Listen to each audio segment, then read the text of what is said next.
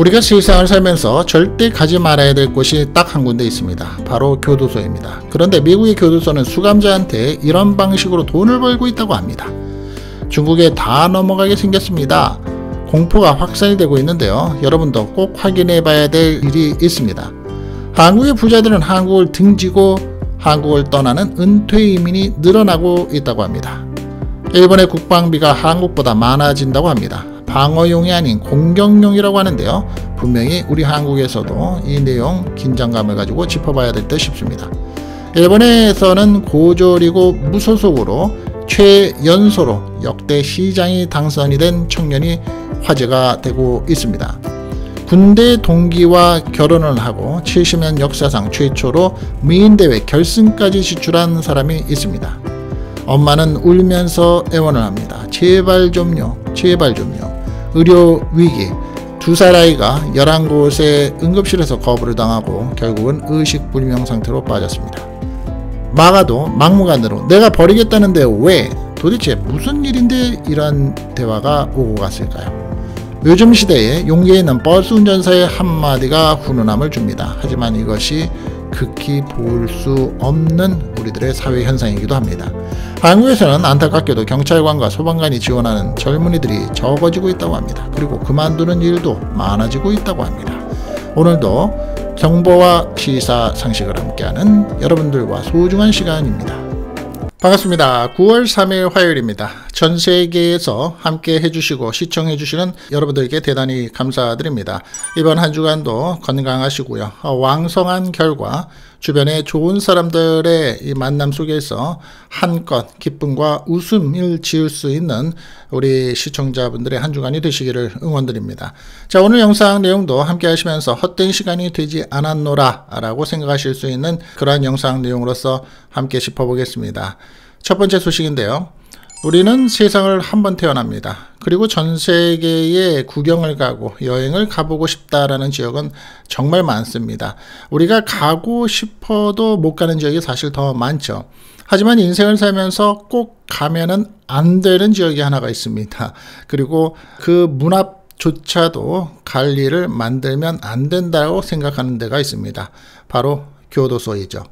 미국의 교도소는 수감자들한테 이런 방식으로 돈을 벌고 있다라는 뜻밖의 그런 내용들이 있어서 함께 짚어보겠습니다.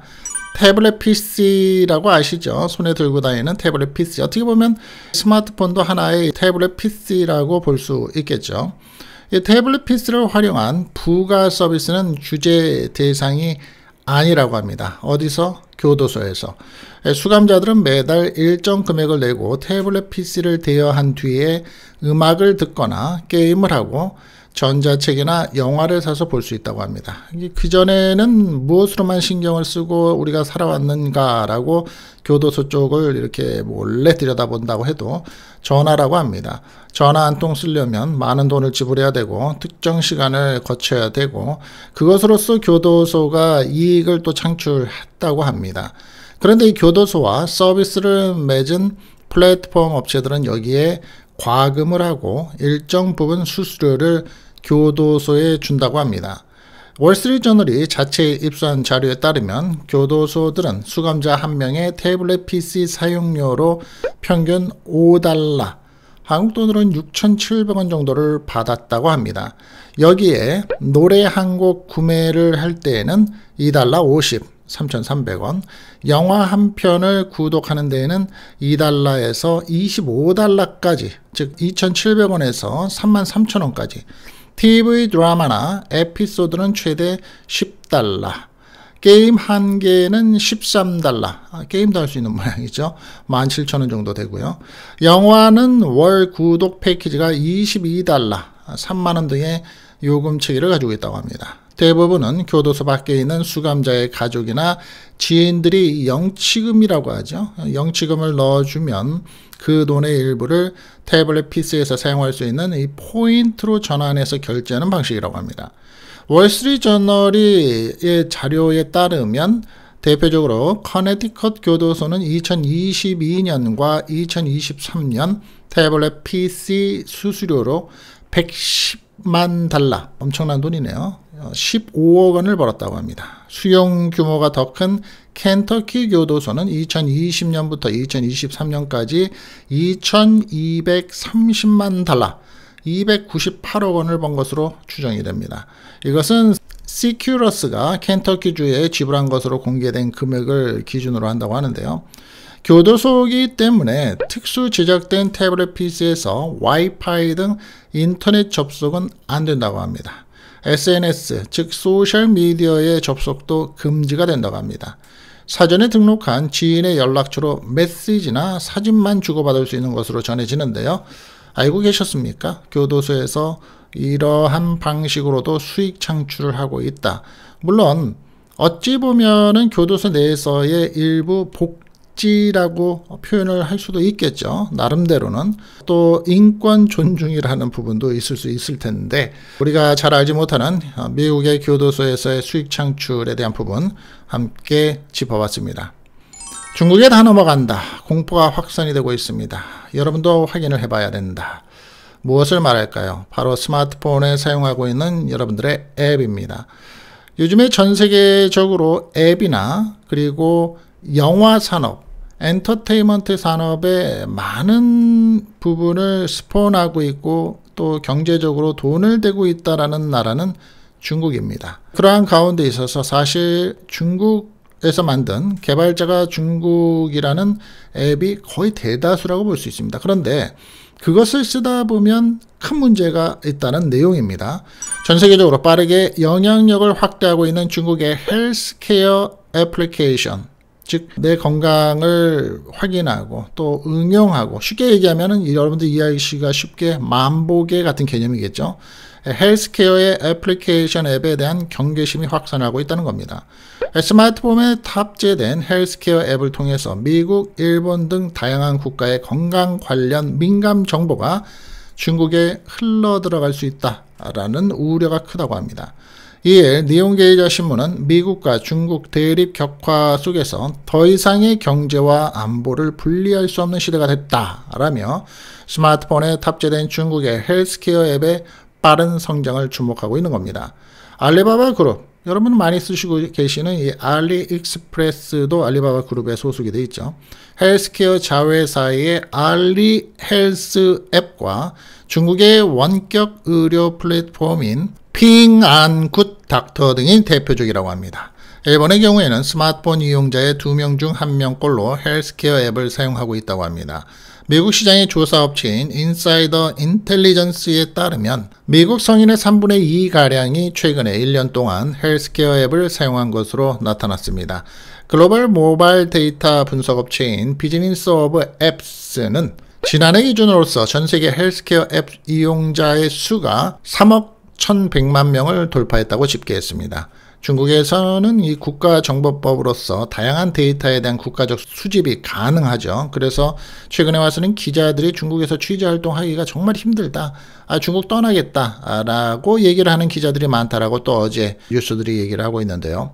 정부가 기업이나 개인에게 데이터 제공을 요구하면 중국에서는 거절할 수 없는 구조라고 합니다. 하지만 중국 사람들의 데이터에 대해서는 철저하게 국외 반출을 제한하고 있다고 합니다. 국제사회에서는 유전체 데이터가 유전체라는 게 우리가 보통 영화에서도 많이 나오는 단어가 하나 있죠. 게놈이라고 합니다. 게놈.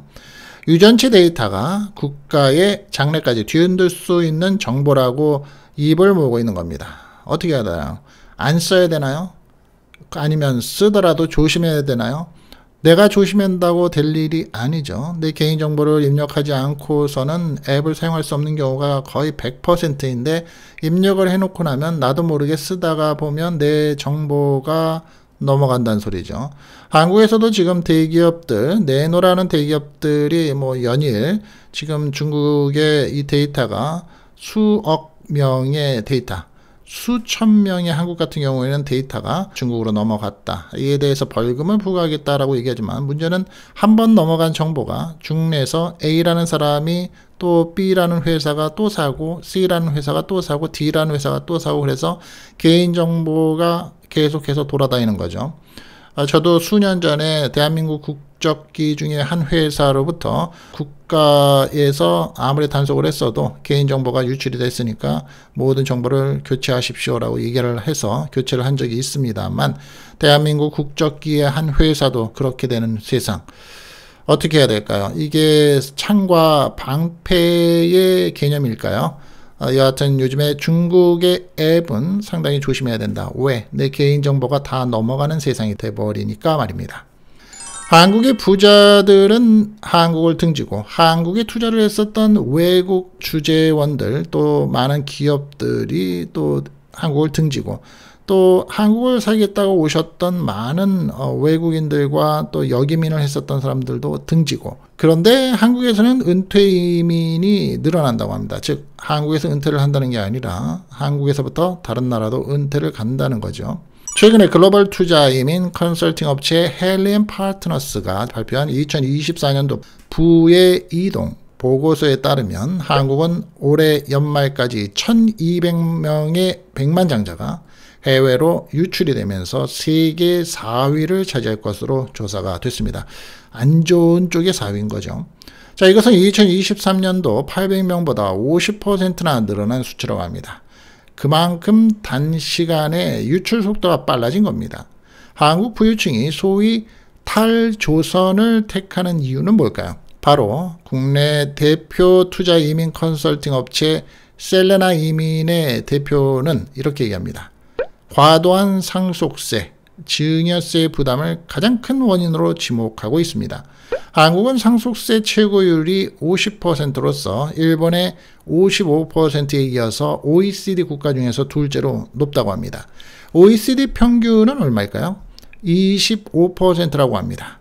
반면에 자녀 취업과 교육 면에서 매력이 높은 미국의 경우에는 상속과 증여세의 과감한 통합 세액을 공제하고 있죠. 부부를 합치면 공제액이 한국 돈으로 따져진다면 350억 원에 달합니다. 특히 은퇴 이민도 현재 한국에서 늘어나고 있는 추세고요. 사실 이 350억 원이라는 숫자만으로 비교를 한국과 미국은 할 수 없죠. 왜냐하면 미국과 한국이라는 나라의 땅덩어리 크기도 그렇고 또 인구의 숫자도 뭐 수십 배가 다른데 그리고 전 세계의 부자들이란 부자들은 다 들어오는 미국이다 보니까 사실 그 공제액이라는 게 350억 원 밑으로 해서 10분의 1로 뭐 35억 원을 할 수는 없는 거죠. 그래서 절대 비교를 해야지 상대 비교를 할 수는 없는 일인데 대표가 말을 하기는 이렇습니다. 미국에서 공부한 자녀가 현지에서 수월하게 취업, 대학원 등을 할 수 있게 도와주기 위한 목적으로서 부모가 급히 미국의 영주권 취득을 알아보는 사례가 점점 많아지고 있다고 말을 하는 겁니다. 여기에 요즘에는 은퇴자들은 해외 경험이 많고 거부감이 크지 않기 때문에 이민에 대한 생각도 열려있는 편이다라고 얘기를 합니다. 오히려 나이가 있으신 분들 중에서 외국에서 한 번쯤은 살아보고 싶다는 로망을 가진 사람들도 많다고 말을 하고 있고요. 한국에서의 삶의 기반을 모두 버리고 떠나는 것이지만 크게 두려움을 갖지 않는 이유 중에 하나다. 여기 하나가 또 뭐 있나요? 안전도입니다. 북한과의 대치 상황에서 일본과 중국과의 가운데 있는 나라 입장에서 아, 대한민국에 살기가 힘들다. 아, 나 차라리 떠나겠다라고 하는 사람들이 의외로 많아지고 있다는 겁니다. 나라가 잘 살면 그만큼 자유적인 어떤 선택을 할 수 있는 그러한 길도 많아지기 때문에 다양한 형태로 한국을 떠나는 일들도 있죠. 나라가 못 사는 경우보다 오히려 더 많을 수도 있습니다. 나라가 잘 살면. 한국이 그만큼 잘 살아지기도 했죠. 그런데 중요한 것은 땅덩어리 좁은데 똑똑한 사람이 너무 많죠, 한국은. 그래서 어떻게 보면 한국을 좀 떠나주는 것도 괜찮은 방법이긴 한데 문제는 떠나는 이유가 돈 내기 싫어서 텍스에 대한 부분이 부담이 되기 때문에 상속세에 대한 부분이 불합리하다고 생각하기 때문에 한국을 떠난 사람들이 많다는 게 이유이기도 합니다.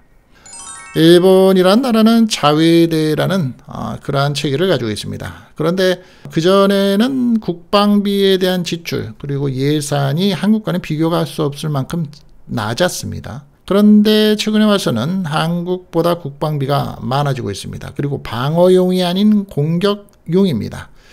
일본이 공격용의 이 국방비 예산을 쓰고 무기를 개발하고 무기를 수입하고 또 군력을 증가시킨다라는 이유는 일본이 자국의 보호만을 위한 것인가라고 의심을 해보실 수 있는 또 자부심을 가지실 수 있는 분들이 참 많으실 거라고 생각하는데요. 저도 마찬가지입니다.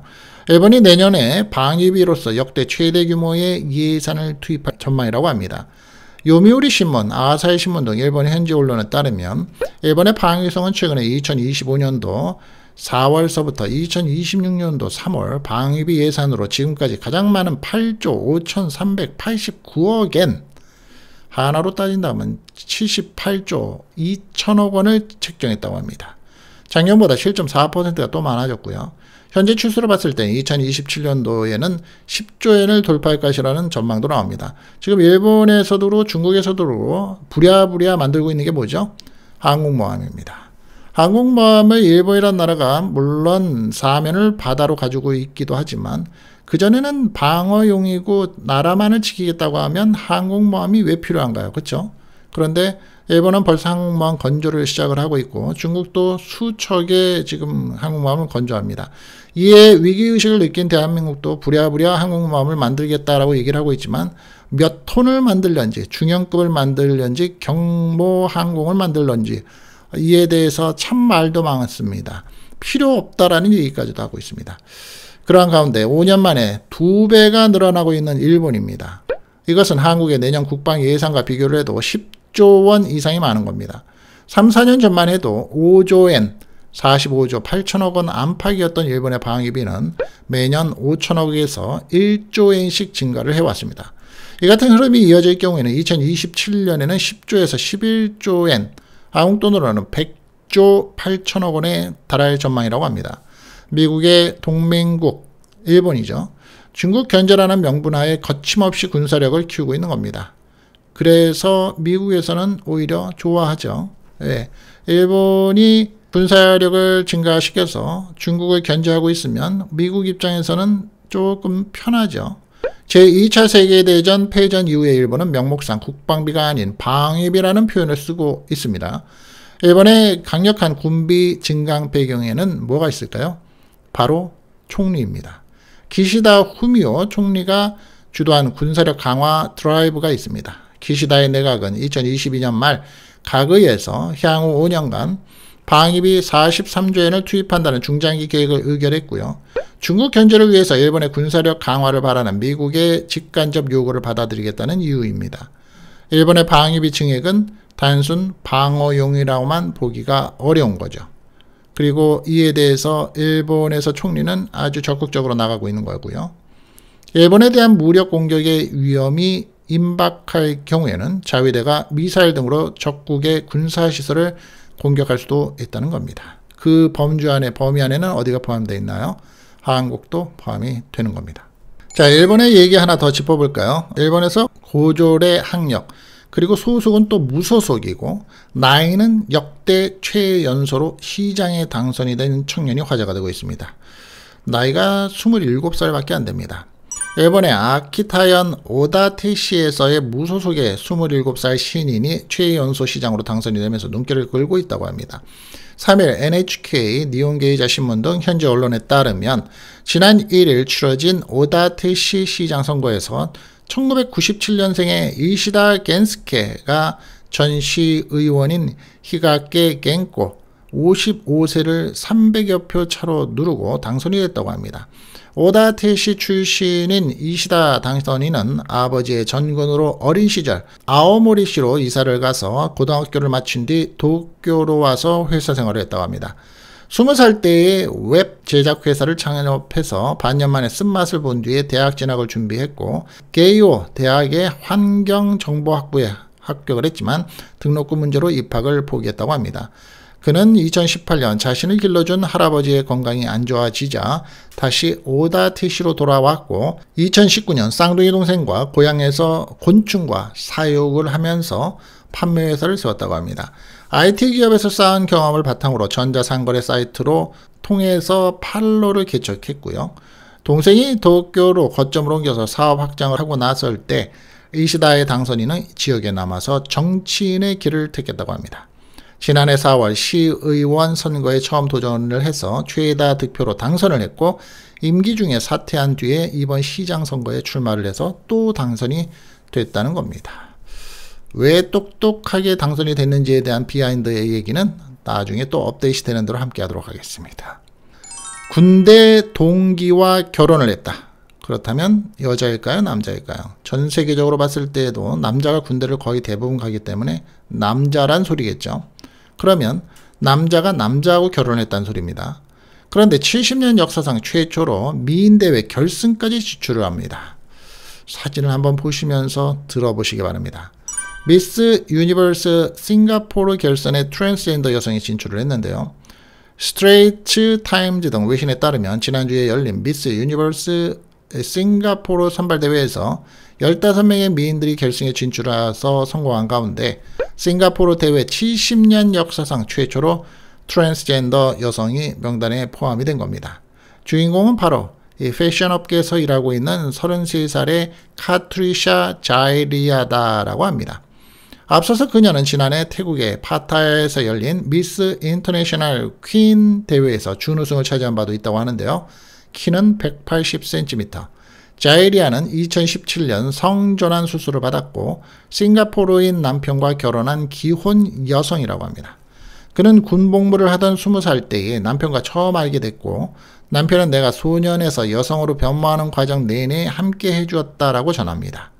이번에 미스 유니버스 싱가포르 대회에서 트랜스젠더를 대표해서 자랑스럽다라는 그녀는 두려움과 차별에 맞서 싸우는 성공적인 트랜스 여성이 되기 위한 꿈을 이룰 기회라고 말을 했습니다.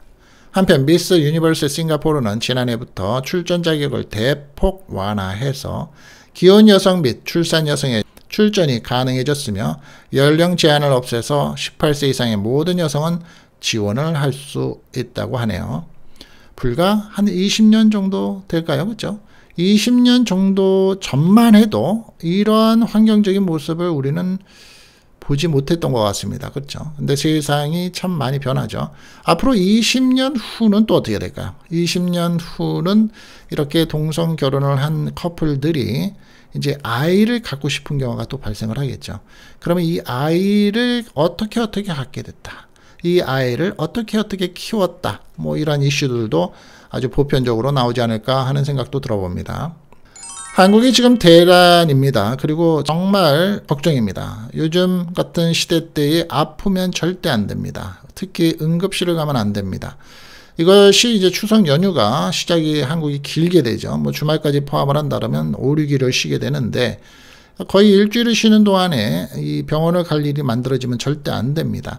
이것은 근데 누구의 잘못일까요? 의료진이라는 의사들의 잘못일까요? 아니면 병원 측의 시스템의 잘못일까요? 아니면 정치의 행위가 정치인들의 어떠한 결정과 아니란 생각의 문제일까요? 아니면 대한민국의 구조적인 의료계의 문제일까요? 울면서 울면서 애원을 하는 엄마가 있는데 두 살아이가 결국은 11곳의 병원들이 거부를 하면서 의식불명에 빠졌다고 합니다. 근데 지금 수 달이 됐죠.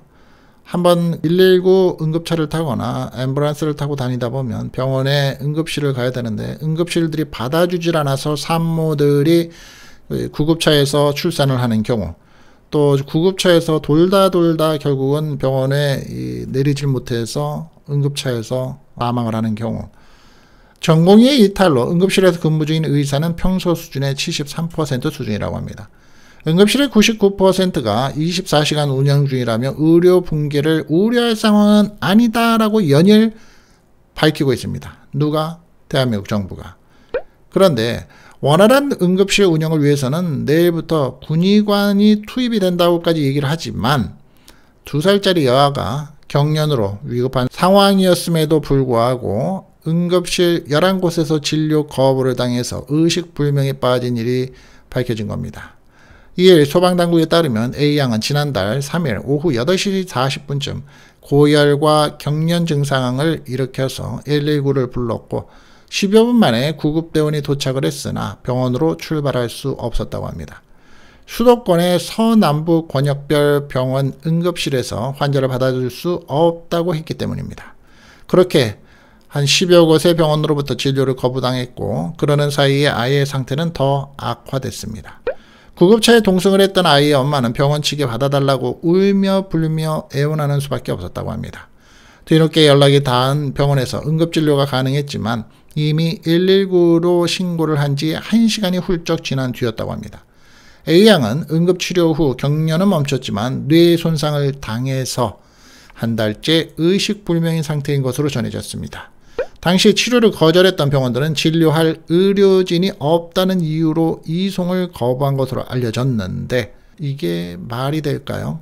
그렇죠? 앞서 말씀드린 것처럼 이건 누구의 잘못일까요? 환자의 잘못일까요? 그러니까 당신이 아프지 말았어야지 라고 누가 돌을 던질 수 있을까요? 안타깝습니다.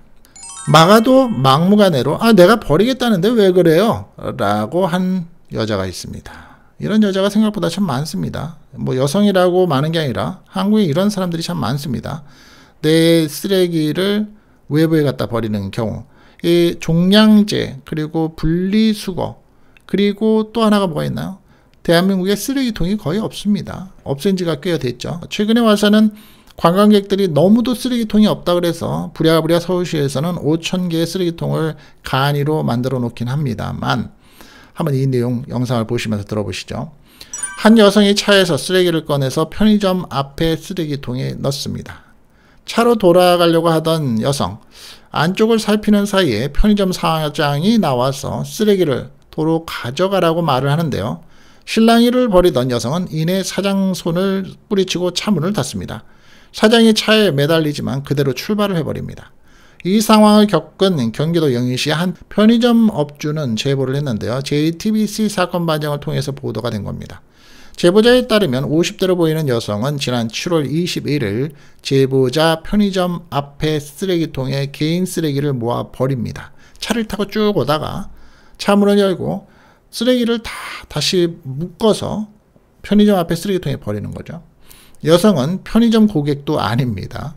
제보자가 즉 편의점 사장이 아니 쓰레기통은 편의점에서 나온 쓰레기를 넣는 곳이지 동네 쓰레기를 받으려고 놓은 게 아닙니다. 라고 하자 여성은 아니 셀프 세차장 가서도 버리는데 여기는 왜 안 되는데요? 라고 따집니다.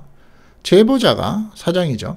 셀프 세차장에도 개인 쓰레기 버리지 말라는 안내문이 있다며 반박을 하자 여성은 이를 무시하고 차에 올라타는데요. 이에 사장이 차 안으로 쓰레기 일부를 밀어넣자 여성은 되돌아와서는 쓰레기 다시 버릴 거야 라며 반발을 합니다. 제보자가 차에 탄 여성의 손목을 붙잡지만 여성은 이를 무시하고 주행량을 쳤습니다. 현재 제보자는 여성을 특수 폭행과 뺑소니 혐의로 신고를 했으며 여성도 제보자를 폭행 혐의로 막 고소한 상태입니다. 이 제보자 즉 사장은 쓰레기를 허락 없이 내버리더라도 사과를 하거나 음료수라도 사가겠다고 융통성 있게 대응을 했다면 참 이 말이 중요한 겁니다. 사실 저 개인적으로 봤을 때 그렇게까지는 하지 않았을 것이라며 그렇죠. 편의점도 먹고 살고 비즈니스를 하는 건데 또 기분 좋게 말이라도 그렇게 하고 편의점에서 상품이라도 하나 팔아줬더라면 이라는 소린데요. 여성이 꼭 처벌받기를 바란다고 전하고 있습니다.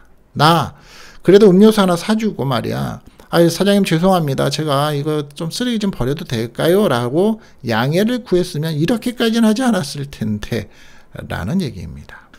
요즘 시대 같은 때에 용기 있는 버스 운전사의 한마디가 훈훈함을 줍니다. 어찌 보면 훈훈함이 아니라 참 우리 시청자분이나 저 같은 꼰대들이 생각하기에는 아, 이 세상이 왜 이렇게 됐나 라는 생각을 합니다. 그리고 우리 스스로가 지하철을 타거나 버스를 타들 때 양보를 좀 받았으면 하는 몸을 가지고 있습니다. 관절도 아프고 허리도 아프고 지치고 그냥 서 있기는 아주 아주 피곤하죠. 그런데 요즘에 지하철 버스 타면 양보를 잘합니까? 우리 시대 때처럼? 누가 앉아 있는데 앞에 서면 어, 제가 짐 들어 드릴게요 라고 하거나 나보다 좀 연세가 있으신 분들이 올라오거나 차에 타서 내 앞에 쓰게 되면 그냥 당연스럽게 자연스럽게 여기 앉으세요 라고 얘기를 합니까? 안 하죠. 그런데 오죽했으면 버스 운전사가 한마디를 했을까요? 출근길에 만원 버스에서 임신부를 배려한 한 버스 기사의 일화가 알려졌는데요. 최근에 JTBC에 따르면 간선버스 270번을 몰고 있는 기사 전진옥 씨는 지난달 27일 오전 버스가 청량리역 환승센터를 출발한 뒤 버스에 임신부 A씨가 탔다는 사실을 인지했습니다. 전 씨는 서울 상암동의 차고지와 망우동 양원역의 종점을 오가는 270번 버스는 노약자가 많은 편이라서 저도 이 버스 압니다. 상암동 쪽에 다니는 버스인데 정말 노인들이 많이 탑니다. 왜냐하면 지역 특성상 그런 것 같아요.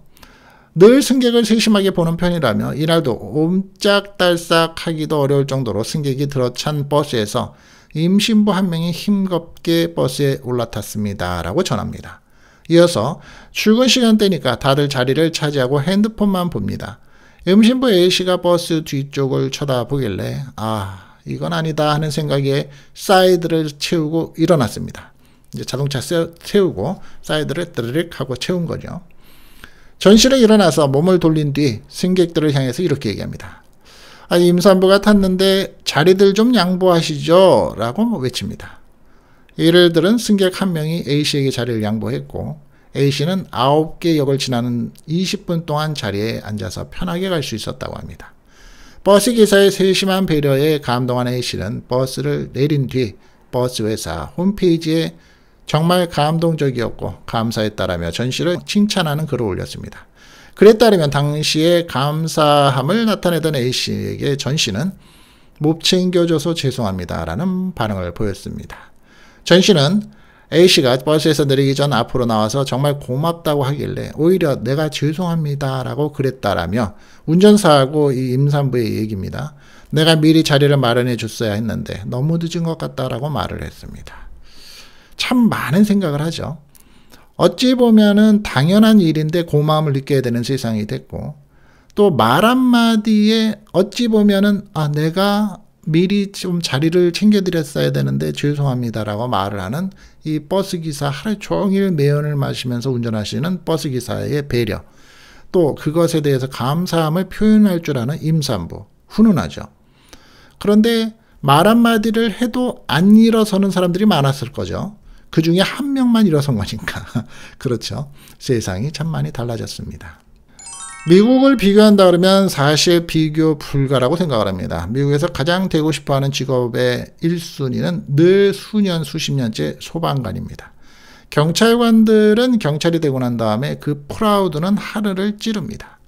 경찰관과 소방관들에 대한 복지의 혜택도 굉장히 좋습니다. 또 유럽도 그렇고 또 캐나다도 그렇죠. 그런데 한국의 경찰관과 소방관을 지원하는 젊은 사람들이 적다고 합니다. 그리고 일을 하다가 바로 그만둔다고 합니다.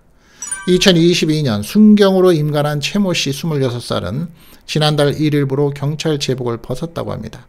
최 씨는 공무원을 철밥통이라고 하는데 적은 급여 등으로 딱히 메리트를 못 느꼈다라며 퇴사를 고민하는 주변 동료들이 많다고 덧붙입니다. 최근에 일이 너무 많고 처우가 낮다라며 퇴사를 결심하는 저연차, 즉 몇 년 근무하지 않은 경찰관과 소방관들이 늘고 있다는 겁니다. 이일 국회 행정안전위원회 소속 신정훈 더불어민주당 의원이 경찰청으로부터 제출받은 자료에 따르면 2022년 155명이었던 10년차 이하의 경찰관의 의원 면직자의 수는 지난해 301명으로 2배 가까이 늘었다는 겁니다. 소방관도 비슷하고요. 2022년 98명이었던 10년차 이하의 소방관 의원 면직자의 수는 작년에 125명으로 늘었다고 합니다. 올해 상반기 10년차 이하의 의원 면직자의 수는 경찰 162명과 소방 60명으로 집계가 됐고요. 전체 의원 면직자 중에서 10년차 이하가 차지하는 비율도 늘고 있다고 합니다.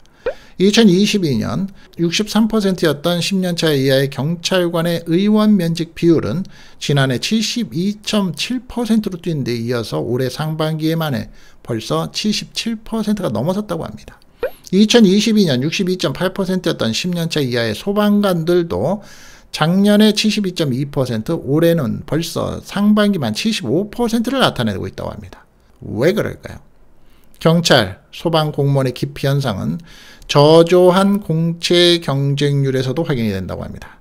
올해 상반기 순경의 공채 경쟁률은 남성이 9.9대 1, 여성은 24.6대 1을 기록했고요. 남성의 경쟁률이 한 자릿수에 머문 것은 20년 만이라고 합니다. 소방 공무원 경우에도 11.5대 1로서 지난해 13.8대 1보다 낮아졌다고 합니다. 저는 정말 반대합니다. 뭘요? 이 경찰관들과 소방 공무원들은 특히 사람 목숨을 담보로 일을 하는 직업이기 때문에 더 많은 처우의 개선과 복지 혜택과 베니핏을 줘야 된다고 저는 강력히 생각하는 사람 중에 한 사람입니다. 대한민국에서 특히 유교적인 사상과 좋은 게 좋은 거지 또 윗사람을 공경해야 된다는 이 사상 때문에 경찰관들조차도 경찰관의 공권력을 때때로는 어, 쓸 수 없는 경우가 많습니다. 그리고 인구 밀도가 높죠. 그런데 대한민국의 이 공무원 중에서 물론 모든 공무원의 처우도 개선이 돼야 되겠지만 이 경찰 공무원과 소방 공무원에 있어서는 특히 존경을 받을 만큼 그 베니핏을 굉장히 많이 올려줘야지만 되지 않을까. 동기부여라는 말이 있습니다. 내가 할 수 있고 하고 있는 것에 프라우드를 느낄 수 있게 만들어줘야 되는 것. 분명히 전 필요하다고 개인적으로는 주장하는 쪽인데요. 제 한 목소리가 얼마나 힘이 되겠습니까만은 여러분들은 생각이 어떠신가요? 어, 저의 의견에 혹시 동의하십니까? 자, 오늘 여러분들과 함께 할 여러 영상 내용들 제가 준비한 영상은 여기까지입니다. 끝까지 함께 해주신 여러분들께 대단히 감사드리고요. 지난 영상에서도 제가 동의하십니까? 라고 했을 때 동의합니다. 라고 댓글 달아주신 분들 감사합니다. 물론 동의하지 않습니다. 라고 댓글 달아주셔도 감사할 겁니다. 또 다음 시간에 찾아뵙겠습니다. 감사합니다.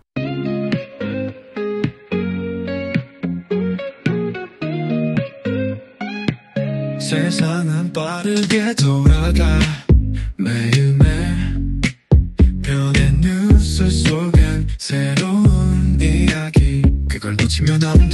정치와 경제 모든 게 다 연결돼 있어. 알아야 해 그래야 흐름을 따라갈 수 있어. 정보와 사실 뉴욕 기다리 쌤의 영상에 담아 세상이 주는 이야기. 우리는 알아야 해. 시사와 이슈 눈을 뗄 수 없어. 깊이 생각하고 함께 나누는 거야. 과학의 발전 기술의 진보 우리 삶을 다함